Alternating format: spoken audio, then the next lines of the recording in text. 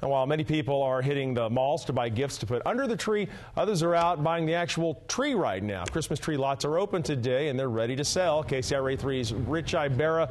live for us in Stockton tonight. So, how much are we going to be paying for one of those trees there behind you, Rich? Well, you're not going to see a big increases. Prices are pretty much the same as they were last year, but prices vary according to the type of tree, whether it be Douglas fir, noble, or silvertip. Take a look at some of these over here.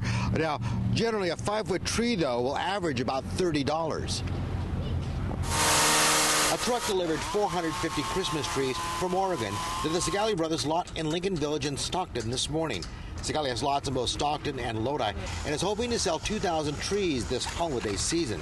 These trees were cut only a few days ago, and more deliveries will come in the days ahead, assuring freshness. Wet spring has brought on a tremendous surge of growth, color, and everything is looks outstanding. This this is the best I've seen it in many years as far as quality. For some, Christmas season begins the day after Thanksgiving. That means buying the tree today and starting in on decorations. I notice you folks are getting a, a quick start. I mean, the day after Thanksgiving, you're not going to wait, huh? No, no. This, no. Is, this is tradition for it's us our too. tradition.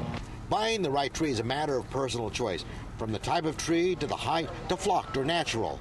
Well, we get the Turkish fir every year. We like to get it right after Thanksgiving, so it lasts. Uh, um, we've had it up a couple weeks after Christmas. With the economy down, fewer 10 to 12 foot trees are being sold. The most popular trees are between 6 and 8 feet. For customers here, the artificial tree is no substitute. Christmas isn't Christmas without the real thing.